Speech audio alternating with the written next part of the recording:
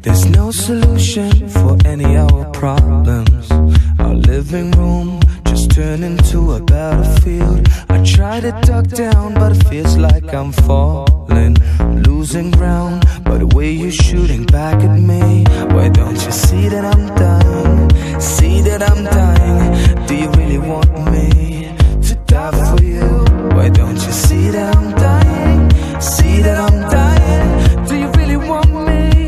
to die for you?